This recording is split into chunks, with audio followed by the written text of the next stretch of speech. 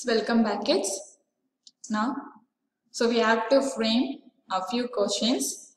The help of what, which and who. It kids? See here next one. Here is an example. Write the answers to the other two questions. Underline the question word. So they given few questions. So just you have to underline the question word. Which is the question word? You can find it in the sentence. First one. Who is at the door? So which is the question word? Who? They underline and they give an answer also. It is the postman. So who? Who is the person? Okay, so that is postman. Then second question. Which is the biggest city in India? So which is the question word? You can find it here. Yes, which. So just you have to underline the word which. So now tell me the answer. Which is the biggest country, sorry, biggest city in India? Mumbai. Okay, so write the answer. Mumbai is the biggest city in India. Then third question. What is your name? So what is the question word? What? Just underline the word what. And write the answer. You can write my name is your name you can write it. Got it kids? The next one. Read the following to find out when to use what, which and who. So they given three question word. One is what, which and who. So which place we have to use these three question words. They given explanations also. See the first question. That question word is what. Ask questions about animals or things. So if you want to know the answers about the animals or things means we have to use the question word what. Okay. For example, what is your pet name? So it deals, uh, we are going to ask about the animals. Okay. Pet animal means that is the pet means that is the animal. The next one. What are you going to do now? So what you are going to do now. Next, what is your step? So that is the things. Okay. So what is your name? What is your father name? Okay. So there we have to use the question word what. Okay. What is your ambition? The next one. Who? So just we want to ask questions about people. Who are you? Who is your friend? Who is your role, role model? Okay. So if you want to know the answers for those questions, we have to frame the question word who. Okay. So the help of question word, we have to make question or we can make sentence. For example, who is coming to pick up you? Okay. So here, it uh, who which person will come and pick up you? Who lives in that house? So who lives near your house or in that house? So who are the people? Okay. So it deals about people. So if you want to know about the people means you have to use the question word who. Good it is. The next one which. So where we have to use the question word which to ask about the things. For example, which is your favorite movie? Which is your favorite flower? Okay. So which is your car? Which is your favorite dress? So these about deals about the things. So there we have to use the word question word which. Got it kids? Okay. The next one. Try this. Working teams. So your teacher will give a each of your, sorry, each of you a sheet. Use the word clues given in each column of the sheet. Ask questions starting with which, who and what. So we are now we are ready to play a game.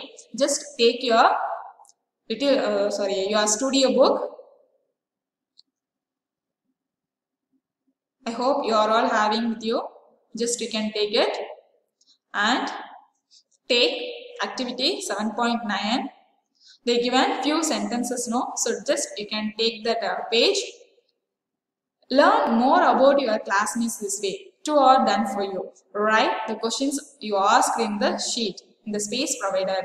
You may also write the names of your teammates, classmates who answer the other questions. So here just you can uh, teammates instead of teammates just you can write your name. So because you are alone only going to do this activity. Am I correct kids? So um, you can write your name and they ask few questions now. So that questions answers we are going to write it now. So what are the questions they ask?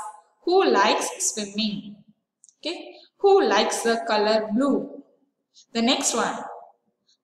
We have to frame a sentence. Okay. So any sentence you can write it. Which is your favorite dress? The next one. Third one. Das has a pet. Who has a pet? We want to know that. So already I told you animals we have to write who. Okay. The next one. What is your father name? Just we want to know. What is your father name? What is your mother name? What is your ambition? Okay, what are you doing? Das plays a musical instrument. Who plays a musical instrument? Got it? The next one. Das likes cricket. So boys and girls, most of them like to play cricket. So you can write question word who. Who likes cricket? Das is your favorite animal. Which is your favorite animal? Which is your favorite color? Okay. Which is your favorite food? Who like animals? Who watches cartoons? So we want to know the person who are all watching cartoons. Kids mostly like to watch cartoons. So what is the name of your pet? Which is your favorite dish? Who is your best friend? What is the name of your favorite book? So that we have to use such type of question words. Got it kids? The next one. It's a time to read. Now you can take your book. We will. Uh, I will give reading practice for you. King Midas and Marigold. So just when I'm reading these sentences, you can keep your fingers on your book and after that you have to follow me. King Midas and Marigold. Once upon a time, there lived a rich king named Midas. He loved gold and had a room full of gold objects. He had a little daughter named Marigold. So here gold means nothing but it's a metals. Okay, so Marigold, uh, sorry, King Midas was very much fond of gold. So once again I will read this sentence. Just you have to repeat after me. Once upon a time, there lived a rich king named Midas. He loved gold and had a room full of gold objects. He had a little daughter named Marigold, and King Midas had a little daughter that name her name was Marigold. The next one. One day a fairy suddenly appeared before him. Suddenly, one day a fairy appeared in front of King Midas. I can grant you one wish. Ask me anything you want, said the fairy. Okay, the fairy asked King Midas, so if you want anything from me, you can ask me. I will give you the wish. I want everything I touch to turn to gold, said the king. The king replied, So what are the things I am going to touch? It turned to the gold. Are you quite sure this will make you happy? asked the fairy. Of course it will. So the fairy asked, If I give the wish, will you feel happy? Yes, of course I will be happy.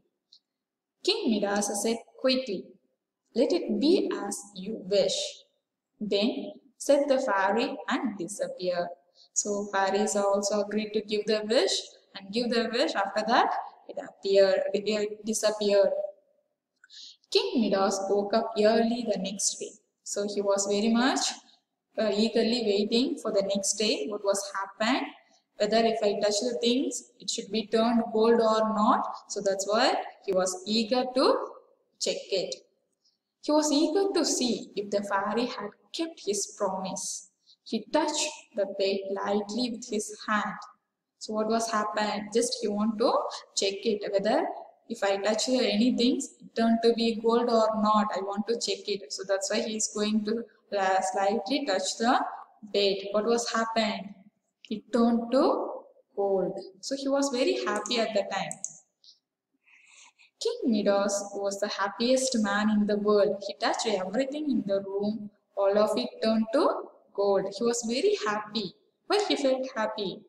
Because what are the things he would like to change into gold just he changed everything so in this world he was the happiest person he touched the lovely roses in the garden and they turned to gold so after he went to the garden he touched uh, bushes flowers plants and they turned to gold King Midas went back to the palace. He saw little Mary go crying. What happened? he asked. So just after change everything into gold, he entered to his palace. There he found Marigold was crying in her bed and he asked, Marigold said, Father, all the roses in the garden are yellow. They no longer smell sweet. And he, uh, she explained, it was sad because in my garden all the roses turned into yellow color. So yellow color means nothing but already I told you that is gold. Oh, don't cry, said Midas. Come, give me a hug. Marigold threw her arms around Ken. So just he uh, consoled her, uh, consoled her, sorry, consoled his daughter and he called her daughter to hug.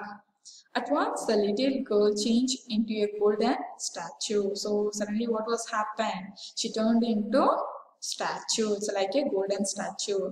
The king was shocked. He cried, My child, oh, what I have done. So after that he realized his mistake and he was cried a lot. Okay, so I, I, I, I did commit mistakes. So what I have done, just he cried a lot. So just I given these two pages practice for you. You have to read it at your home.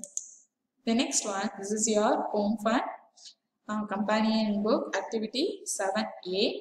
Interview your parents. Just you can ask few questions to your parents. So what are the questions you will have to ask means ask them these questions. They given two questions. Are there things at home that we do not use? So they are asking you is there any things which was not used? We can find it at your home or not. You can ask a few questions like that. And next question, are there any things that we do not need? So last session we discussed what is mean difference between need and want. Okay, need means without those things we can't live. Okay, want means nothing but we don't want the things even though just for luxurious life or taste we have to get it. That is not necessary. So need means that is necessary. Need, what is the need things we need? Money, education, shelter, clothes, water, food. Okay, so these are the necessary things we need. Okay, wants means um, table, sofa, TV. So these are the things want. Okay, you can ask these two questions to parents and write what they have to do at their home. So if they are having waste things, so that means not using the things, what they have to do that. Okay, so are there any things that we do not need? So which are the things we don't want to need if the things are having or not? So that things we have to write it in this dash. The next one, what do we usually do with things that we no longer need? Discuss. So which are the things we are not using? If you find the things means there is no uh, no use at all. Okay, we are not using the things, just it, it, will, it will be stored in the one place. So there is no use. So what you will be do with the things? that you have to discuss. Then what else can we do with things that we do not use? So if we are not use such things means what we have to do that. Okay. So we can give it to needy people. If you're having uh, some uh, small dresses, it is not fit for you now because uh, you bought the dress in uh, in age Okay, so if you're having such type of clothes means you can give it to some poor people or needy people. So that way we have to help others. So that also you can discuss to your parents. Okay, so name four things that you do not use anymore. Discuss with your parents how you can use them to help others. So what are the things we are having? So how it will be help to your help to other people. Okay, that answers you can write it in this dash. Okay, this is your home fund for you. You can write it and send it in our group. Okay, kids, thank you and bye-bye.